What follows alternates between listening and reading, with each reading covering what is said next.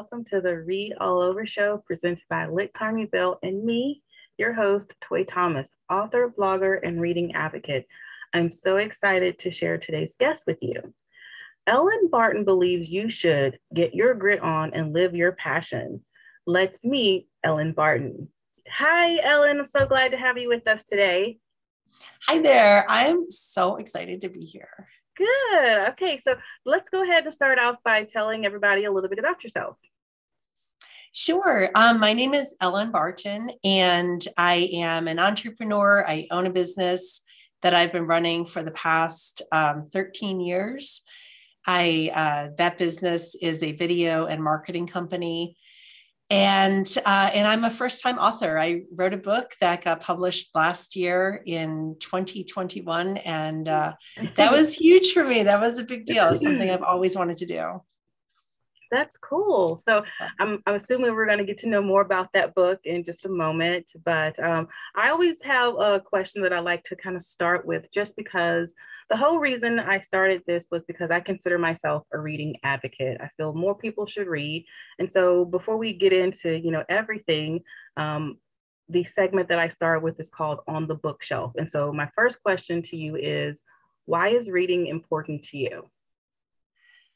Oh my goodness. I have always been a reader ever since I was like probably first able to read as a kid. And it's important to me because it's, um, I love stories myself, you know, and I love watching movies. You know, I love watching uh, good, well written shows on TV, but there's no substitute for your imagination. And there's no substitute for getting lost in a book and really absorbing that message that the author wants to share with you, kind of stepping inside their world. You know, I think it's just such a great opportunity. I also love to travel. So, um, having an opportunity to read a book and enter a different world you know a different time a different place yeah. someone else's perspective in mind i it just lights me up like to me there's no happier smell or place than like a library and you walk in and you smell that delicious smell. And uh, I just think like, wow, there's all these amazing um, opportunities here to explore all these different worlds. It's like magic. I love that. I like I like that yeah. you say that um, you use the word imagination because I feel like a lot of people don't realize how much you stretch your imagination when you read as opposed to you know watching something on TV. I mean, I love TV and movies as much as the next person, but I do I agree with you. You get to stretch your imagination when you read. Yeah, absolutely. It's and I and I too. You know, I I love I love good stories, and I really appreciate well written shows, well written movies, and um, because my business is video. Um, I'm interested in the art of filmmaking. You know that I appreciate that too but there is no substitute for just curling up and getting lost in a book in my mind. Yeah. you know that's um that that's just my opinion but i love it too. And i i i think it's interesting that more people seem to be embracing reading. Like i back when my kids were were small and harry potter was just coming out and all those kids suddenly um, reading was uh, cool again you know? Yeah.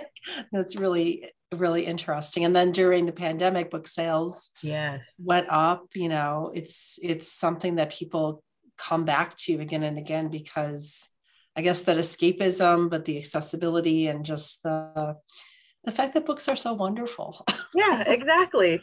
Uh, they're just so wonderful. Yes. So my next question for you is um, do you uh, review the books that you read? Why or why not um, uh, not always. And why not? Maybe I'm lazy sometimes. um, but I, especially since I got into writing my own book, I realized the importance of writing reviews and try to do it, you know, most of the time. Right. I can't say I'm 100%, but it is important. And I think why is it important? Because um, people want to hear, you know, I read reviews mm-hmm, before yeah. I purchase something. Yeah, people want to hear your perception of whether it was a quality book, whether you enjoyed it, etc. Um, it can help the author, obviously, if it's a good review. but there's so many great books out there too. It can spare people from, you know, investing in a book that's uh, maybe not going to be their cup of tea. Yeah, I, am I'm, I'm a firm believer in you know book reviews as as a way of um, helping people decide whether or not yeah. they want to read something. yeah. All right. Um, so my last question for you um, on for on the bookshelf is, what are your favorite genres to read and why? Um, I actually really enjoy fiction. Um, I like um, a good novel. You know, I love, I just love characters and stories, character driven stories. Um, I like mysteries sometimes. And I, I think it's just the intrigue of getting caught into, you know, again, the story. I get so entranced into story and that brain teaser thing where you're trying to figure out what's really going on here. Um, I do enjoy that, but I, I, also like, you know, just reading a good story and going into the world of the author. Um, that that's it's just my it's my favorite thing. yeah, I, I'm with you. I I would say um I I my go-to is fiction, but I've been expanding my horizons and trying to read more nonfiction. Yeah. But, um yeah, if there's a fiction book around, I'm gonna pick it up. yeah, me too. And and I do. I'm reading at least one business book a month. Um, that's my 2022 thing that I'm doing, and I enjoy. I enjoy those books too. Yeah. Um, you know, again, I have my favorite authors or reasons for reading different books, but um, it, I don't know. I yeah, I, I just I just love books. yeah, I love it. What I would tend to personally, what I would not tend to read is anything like very technical or, you know, yeah, like super dry. It's, I, I like stories. Yeah, cool. Yeah. All right, so now we're going to move into the segment that I call um, the open book. And this is where we get to talk about you as a writer. Um, I know you are a businesswoman and entrepreneur, but um, you, you did just release a book. So you're also a writer. So I want to talk about that process a little bit. Sure. So the first thing I want to know, um, we're going to talk about your, your book in, um, in the next segment, but um, Ready, Set, Grit do you have any plans um, with that book moving forward, or are you working on another book? Um, well, I just released the book last year, as I said. So I am still promoting that book. I understand that for this type of book, which is a business and mindset book, um, an author should plan to promote the, the book for two or three years, um, going on you know shows like this or speaking um, you know going to different events. So i'm not done with my book yet. It's okay. it's still kind of early days um, but yes i am writing a second book of this in the series. I just started working on it. Cool. and that second book is um, also about mindset and it is a book that can be useful to those who own a business or, or wish to own a business. But the focus of that book is money and all of the stories that we have around money, all the blocks we have around money, all the um, nonsense many people have in their heads about this topic. Right. Um, it just fascinates me. And that's what I'm delving into in the next book. That sounds really good. I think that's a topic that never gets old. I do feel yeah. like with each generation, there may be like some new things that come up you know people's ideas about money so i think that's very on topic for whenever it comes out it's going to be on topic yeah thank you all right so my next question is um so you you which this actually goes in line with what you were just saying. That's funny that this is my next question. Was um, as a writer um, whether you're traditionally published or self-published at some point you have to consider your own self-promotion. And so how do you approach self-promotion as a writer? Well, um, you know, shows like this are great. So I can talk about the book, and I really appreciate the opportunity to do so. Um, my book, I didn't necessarily imagine that I would sell a million copies of my book. It's for kind of a specific audience. And so, how I am looking at self promotion is opportunities to be on podcasts, opportunities to speak to groups of entrepreneurs or want to be entrepreneurs. Um, you know, I'm just kind of like looking for those people that are looking to make a leap and haven't been quite able to do that or are feeling like a little stuck along the way. So it's it's a process, you know, it, it's like I I post about my book on social media. Mm-hmm. So people are, you know, occasionally they'll I'll get messages back from people on social media asking more about that That's or good. inviting me on to podcasts or stuff. It's it, it it's a it's a marketing is super fun. Really? I feel the enthusiasm in that. mm. yeah. Yeah. It's hard. My company, you know, as I mentioned, we do video and uh, video marketing, video production and video marketing. And so we're really great at um, doing marketing for other companies. It's really different when you're doing it for yourself. Yeah. And you have to kind of, or at least for me, I I find that I have to kind of like remove myself from any um, emotional connection yeah. to the outcome and just kind of treat it like a business. And uh, you know, you know, it, it's kind of a it's kind of a funny thing. It's kind of a mind game. Yeah, I agree with that. yeah, it, it's definitely a funny thing. so the other question that I have is, um, I like to talk about people's writing process, and um, I feel like every writer has a unique process. And even if they can be categorized as a plotter or a pantser, um, especially if you're writing something nonfiction, your process is going to look a little bit different. So I'm just curious, um, kind of, can you give us like a basic outline of your writing process to create like your book? Yes, but I don't know if I'd recommend people copy my process. Um, but you sure, I'll share it with you. Um, so, and again, this is my first book. I'm working on my second book. So, I, you know, this is subject to change as I become more experienced. But my process is to get curious about the topic and then to start gathering tidbits of information. In, in the first book, I interviewed a lot of people and just started taking, you know, accumulating notes, organizing the notes. Um, eventually, it became clear to me what the chapters of the book should be. So I outlined the chapters. Okay. And um, then just began began like filling in the blanks of like what information I wanted to include. Um, it's I, in my experience, when you begin exploring a topic in that way, information sometimes comes to you. You know, like the law of attraction, like you or maybe you just wouldn't have noticed it before you right. start kind of seeking the information but um, I would frequently come across a person that had something to say on the topic or read something.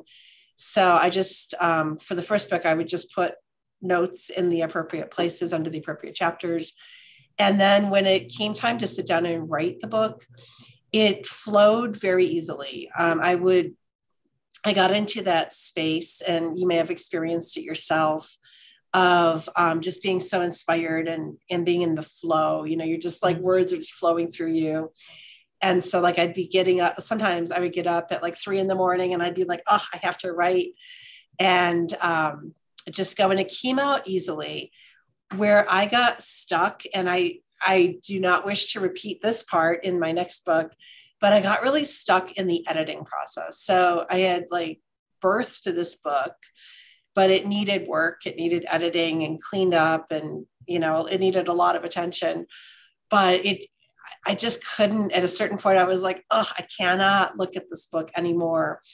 And i had to put it away for quite a while. And um and i had at that point too some readers. I recruited some early readers that were they volunteered to give me feedback and notes and and all of that. Um, they encouraged me greatly to keep going. Um, so that was nice to have people, you know, getting some value out of, yeah. you know, even the early stages of the book What was good.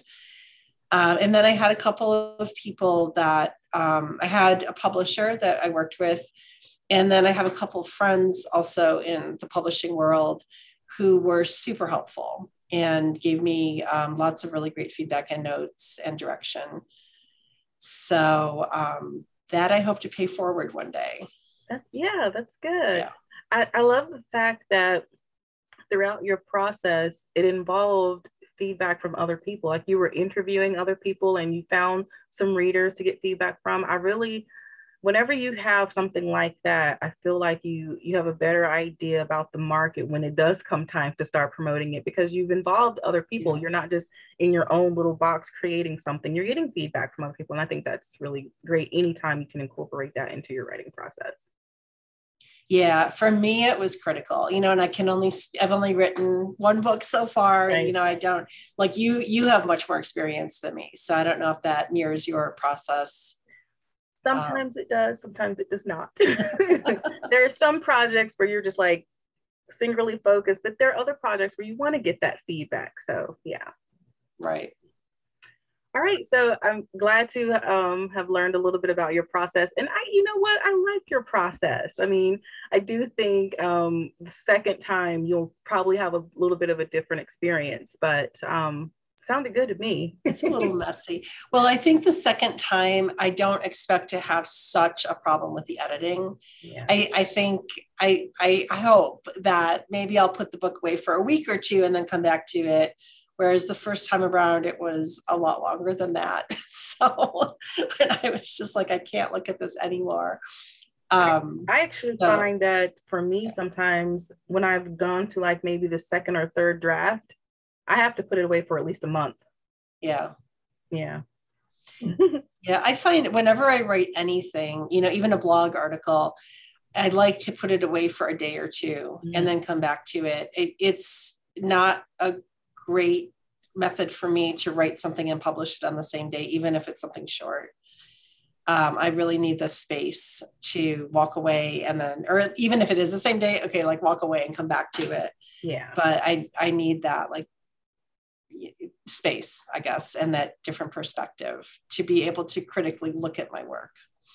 See, that's good though. I mean, I love hearing that because I mean, everybody's different, so I understand that. But I do like when I hear, you know, authors or, you know, writers being aware of um, not necessarily limitations, but like sometimes, like you said, you do need to have that space from your work in order to be able to go back to your work and make it better. Yeah.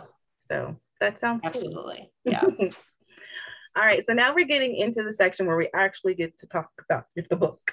This is okay. a book signing. So, first thing I want to know is Ready, Set, Grit. Oh my goodness, how did you come up with that title?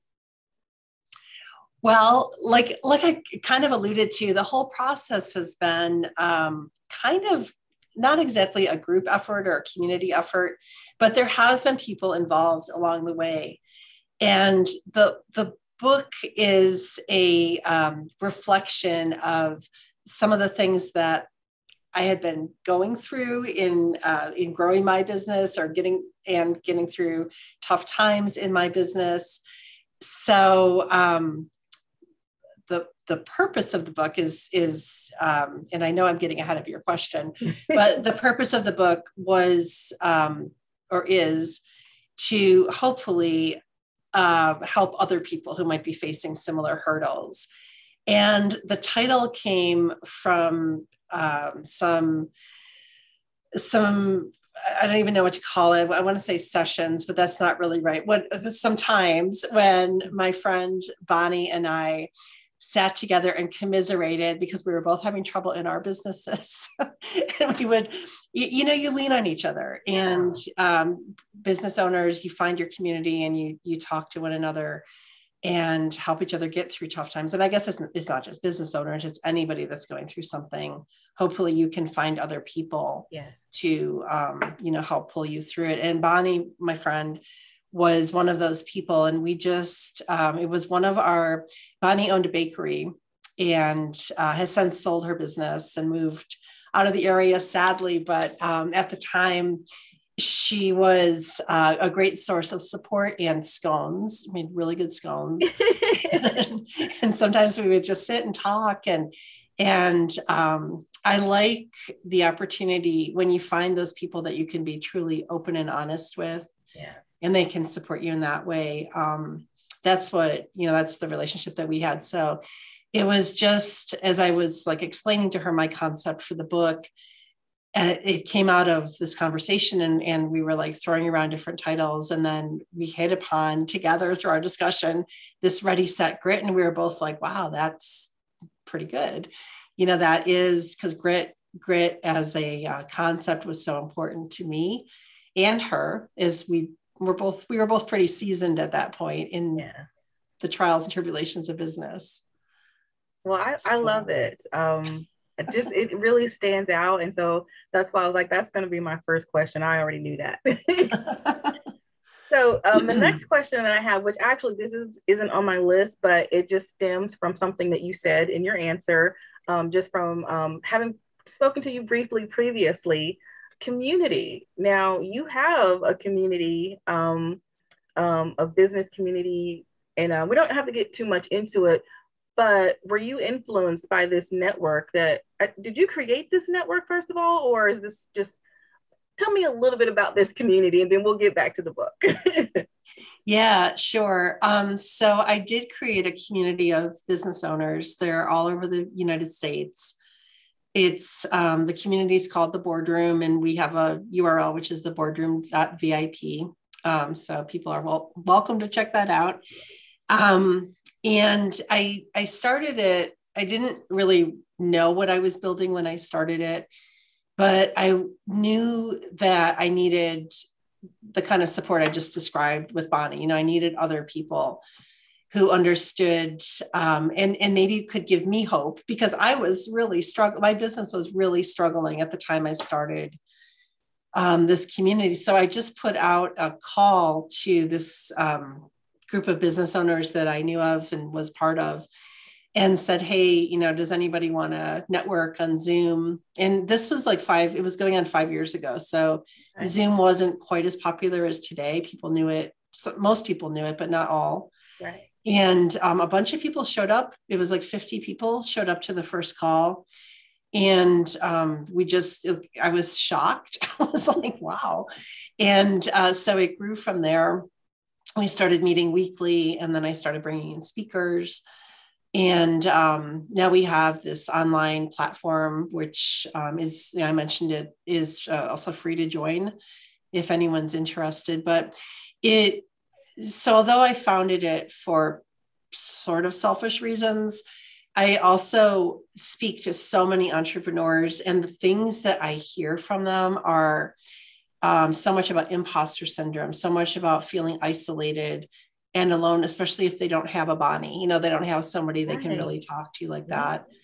So that's what I was looking to create. And um, that, I, I don't know how other authors approach their work or whatever, but for me, it certainly wasn't created in a vacuum. You know, my, it, it really um, came from my experience with all these people and and knowing that the process I developed overcoming my own challenges would be helpful to other people.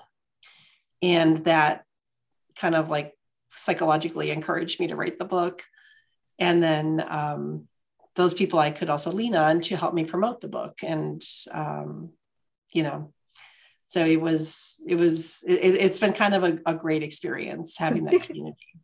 That's wonderful. Yeah, I um I can relate to that on many levels. I checked out the community. I'm excited about it. Um, but I also came from a community of writers because, you know, I needed that. And so I understand how being part of a community like that can inspire. Um, and so I just wanted to, you know, talk about that a little bit. But let's get yeah. back to Ready, Set, Grit for just a moment. So um, the next question is, is kind of um, kind of an open-ended type thing. Like I know that um, you're going to be sharing something um, for my Patreon supporters a little bit later, but I wanted to talk about. I don't want you to give too much away, but like, what are some of the like topics or chapters that you felt um, were like obviously important enough to share like in this book like um because i know you said you know a lot of this is based on the things that you were going through and you were hoping that it would help and inspire other others. So let's talk about that a little bit some of the either chapters or topics that you thought would really resonate with readers.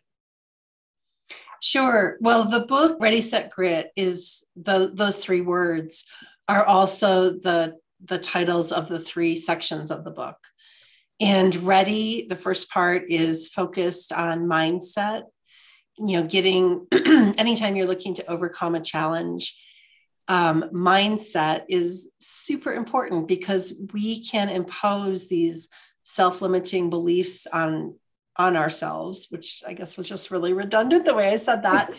But um, you know we we can impose these these limits on ourselves and tell ourselves that we don't deserve something or we're not able to achieve it. And then of course you can't achieve it. If you can't believe it first you can't achieve it. And so it especially when you're struggling you know whether it be with money or whatever the the situation is anytime you're in a situation where you're feeling stuck or trapped um, you first need to free your mind. Like that. You, you first need to believe that change is possible that you're capable of change. So the first section of the book is um, that that's what it's about. So it's calling upon people to really examine their mindset, shift it. Every chapter has exercises at the end of it because it was important to me that there's some practical action steps to help people, you know, actually make change. It's fine to be theoretical, but I wanted them to be yeah. also actionable. Um, the set part of the book is about the foundation that one needs to lay, whether you are looking to create a business, a a nonprofit, a, um, a, a hobby, you know, that you want to seriously focus on, or like whatever it is, it doesn't have to be a business, but you need to put certain things in place to you know ensure that you're going to achieve that thing that you're setting out to achieve or else you know you're never going to be able to do it because you're going to go back to your old ways or your old habits or your old you know whatever patterns um, so laying the foundation for success is really important to me. And that's like getting your tribe around you, getting the right people around you, getting all the things you need in place so you can move forward. And then the third part is um, is that grit. It's that action, mm-hmm. and um, also it's a little bit of legacy. You know, believing that there's something larger than yourself that you're working towards um, in, in whatever you're doing, you know, even in your, what you're doing here with your, your podcast, you know, this is like, maybe it's bigger than yourself. You're actually having an impact on the world in some way, you know? I love that. So. I, I, like that, you know, you, you you've taken the title and you've actually like broken it up into sections and everything has a meaning. It's not just a clever title, like it has a meaning. And so yeah. I really like that. That's great. yeah, thank you. All thank right. You. So now we're going to move into the segment of the show where we just kind of have a little bit of fun. okay. So this is Don't Judge a Book by Cover, uh, just because these questions are silly and you never know what someone's going to say. So my first question for you is Do you sing in the shower? Why or why not? um, I do not sing in the shower. I think my husband would um, file a complaint. I I love to sing, you know, in the car where nobody else is with me, really loudly. But um, I I I don't have the best singing voice. I have to be honest. Yeah, I don't either. I everyone everyone in my family sings like a bird. Um, if I sing like a bird, it would be a, a crow. So yeah, you know. I'm afraid I'm the same. All yeah. Right. Um, so the next question is if you could only pick one, candy, cake, or pie, which would it be? You can only have one. Hmm, candy, cake, or pie? Whew. I think I'm going to go with, it's a tough one. I'm going to go with pie. Really? What's your favorite kind of pie? Go with pie. You're asking all the hard questions. I think, ah, oh, man, I, I guess I'm going to just stick with the basics and say apple. That's a good one. That's a classic. Yeah. I love to cook, you know, and I love a good, just, you know, that apple pie. It's out coming out of the oven. It's steamy and fresh, and you put a little ice cream on top. And yes, no, nothing fun. like it. so good. All right. so good. All right. And so our last question, um, this one is I actually usually pick all of my questions at random, but this one I picked out just for you. Um, so if you were going to appear on a um, like a like a well-known talk show or interview show, which one would you like? Which one would be like your dream to appear on? Like, what show would you like to be a guest on? Ooh, okay. I oh wow, that's a great question. Well, I would say Oprah, except her, I don't think that she's doing regular shows anymore. No, yeah. So that might not count. Um, I really enjoy Glennon Doyle's podcast. Oh yeah, I've heard that podcast. Yeah, that's fun. Yeah, maybe something like that. I don't know. I don't watch a lot of live TV. Um, so I can't even tell you what the the normal interview shows are. Oh, but I do have an answer. Hang on. It took me a minute to get here, but I, I'm here now. Okay. Um, it would be um, it would be a radio show. Okay. Is that allowed? Yes, absolutely. Okay. It would be um, Fresh Air, hosted by Terry Gross on NPR. Oh, I've heard she's of that my favorite. I've never listened to it though. Oh, she's my favorite. She's um, with my company because we do video production. We often have to interview people, and um, I also have my own podcast, which is on hiatus. I, I enjoy interviewing people, and when I do interview people, I always like channel Terry Gross because she's such a great interviewer. And I would love to be on her show. So that is my answer, and I'm sticking to it, even though Oprah is a like also a top choice. Yeah. if she was yeah. available. Yeah. yeah. I, I think if I had an uh, like a chance to be interviewed by Oprah, it probably wouldn't happen just because I'd like pass out or something. I know, I know, but you know, she she's so authentic, and at least I believe she yeah. is so authentic and warm, and I'm sure that she's very skilled at putting people at ease. I'm sure, yeah. I think that it would be um, just really cool to talk. You know, she uh, obviously is also an amazing interviewer. I think it'd be really great to talk with her. Yeah. And um, yeah, I would love to interview her actually. I know, right? yeah. All right. So we have um, pretty much come to the end for today. I've had so much fun talking with you, Elin. Oh, um, me too. Thank you. so why don't you go ahead and just tell the viewers where they can find you or your work online? Sure. Um, you can find me on um, my website, which is elinbarton.com. And um, my name is spelled E L I N. A lot of people you know, don't realize that. So I should probably buy the other URL too, just in case. Just in case. But um, but yeah, that's where you can find me. And there's a link to the book on that website, but it's also available on all, you know, Amazon, Barnes and Noble, Target, all the normal retailers. And uh, if you just search for Ready Set Grit, it should come up in the search. And um, yeah, I and if you do check it out, I would love for you to leave a review, like twice. exactly. it's so exactly. important to get those reviews. So yeah. I wasn't gonna say this, but why not? I, I I share all my stuff online anyway. I am doing a reading challenge this month that another author set up, and it's called the Read with Faye Challenge. So every month you read something to help you either creativity and so I decided to pick up your book to read as part of that challenge. So I won't be reading it this month, but I will be oh, reading it in the month you. of April. So I'm excited about reading that book. well, I hope you enjoy it. I look forward to your review. Yes, yes, absolutely. yeah. All right. You. So um we've come to the end everyone. Be sure to um, stick around for the credits. I always have something fun there. And for my patreon supporting Elin has some exclusive content just for you. So um, that's it for now. Until next time stay safe be blessed and have fun reading. Hi there, Toi here, and today I'm going to be talking more about Lit Carnivale and what it means to read local. And so the question is, what does it mean to read local? And so I've broken it down into four things that read local means to me. So the first thing is being involved in local libraries.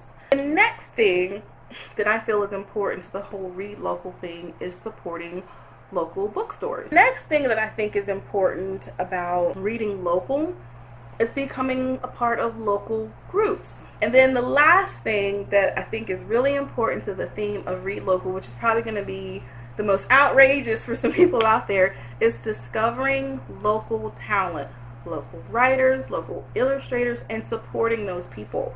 So there you are, four reasons to read local. I hope you will let them run around in your brain a little bit, think about them, think about Lit Carnivale, and I'll see you guys next time.